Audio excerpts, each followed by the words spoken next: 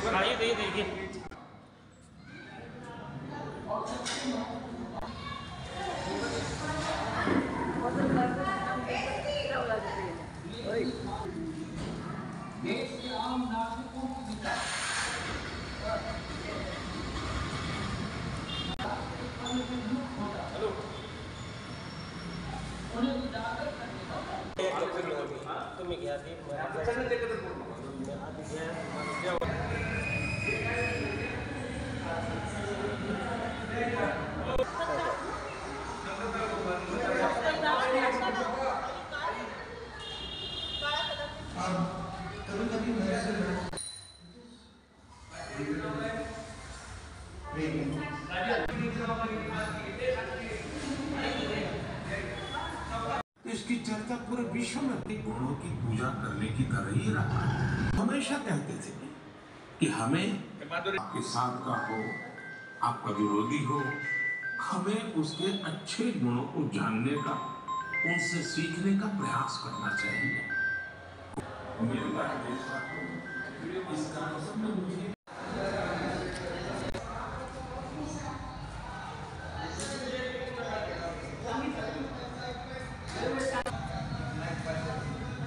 कार्यक्रम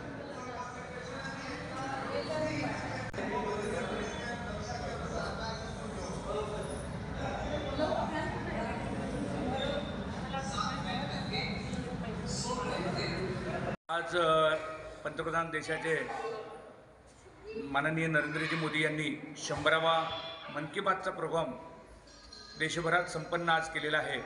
दोन हजार चौदापासून देशाचे पंतप्रधान हे भारतातील जनतेशी संवाद साधत आहेत.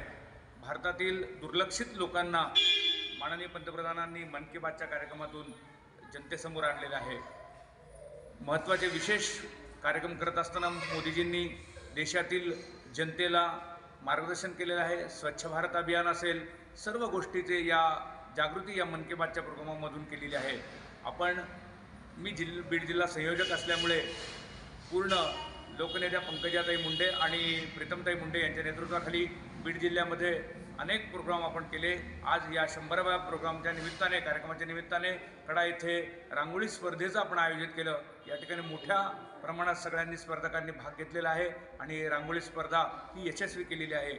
या ठिकाणी मोदीजींच्या प्रतिमासुद्धा रांगोळीमध्ये शंभरावा कार्यक्रमाच्या निमित्ताने ती रांगोळी स्पर्धेमध्ये मोदीजींची प्रतिमा या ठिकाणी स्पर्धकांनी साजरी केलेली आहे.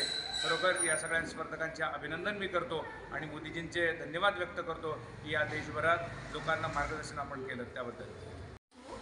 आज शंभरवा मन की बात जो कार्यक्रम आहे मोदीजींचा त्यानिमित्ताने आमचे कडा येथे शंकर देशमुख यांनी भाजप नेते यांनी रांगोळी स्पर्धा आयोजित केली त्या त्यानिमित्ताने मी एक मोदीजींचं जे स्वप्न होतं राम मंदिरांचं ते त्यांनी जे पूर्ण केले आपल्या सर्वांसाठी त्या निमित्ताने मी श्रीरामांचा रथ के रांगोळी काढलेली आहे.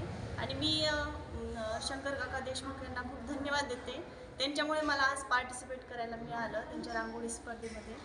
आणि दोन किलो. मला श्री रामाची रांगोळी काढण्यासाठी जवळपास अ, साडेतीन चार तास लागले. आणि रांगोळी अ, एक अडीच तीन किलो रांगोळी लागलेली आहे.